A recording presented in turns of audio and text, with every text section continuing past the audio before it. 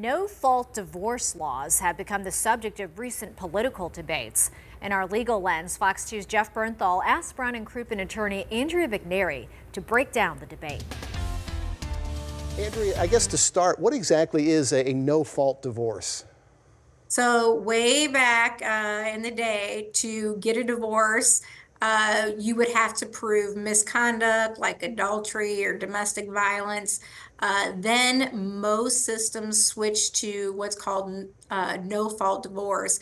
And basically, what that means is there's the standard instead of somebody's at fault or there's misconduct, it's that there's no reasonable likelihood that the marriage can be preserved and therefore the marriage is irretrievably broken. So no one person has to be at fault for any misconduct. And I know recently we've heard some talk uh, from, from some folks who, who want to, I guess, eliminate uh, no fault divorce. What's, what's the, the reasoning behind uh, what they're proposing?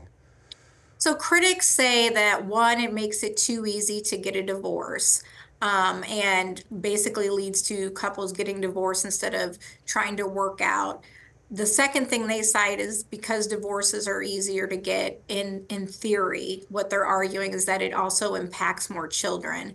And, and most of these uh, claims are, are basically moral and religious um, undertones to it and and have moral and religious objections is another uh, reason they cite to eliminate no fault divorce. And some of the reasons uh, people are giving for, for wanting to uh, keep that option available?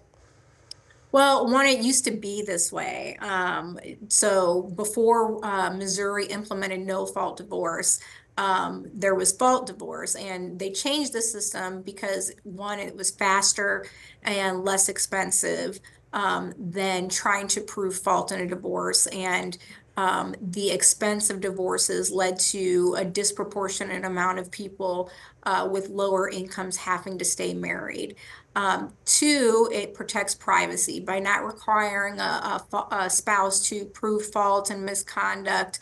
Um, you know, you don't have to expose your dirty secrets in a public forum and in public court filings to be able to get a divorce. And then finally, um, one of the biggest uh, reasons people cite for the reason of no fault divorce is domestic abuse and, and it reduces conflict. So um, you know, the more fault you have to prove to somebody, the more that leads to contention.